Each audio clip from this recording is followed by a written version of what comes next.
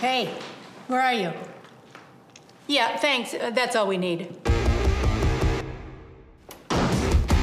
Behind every star They kept me waiting for almost an hour, and then the director took a call in the middle of my audition. is the story of how they got there. She has the experience. She has the talent. I think she's a star. But in the spotlight, I trained for this. They're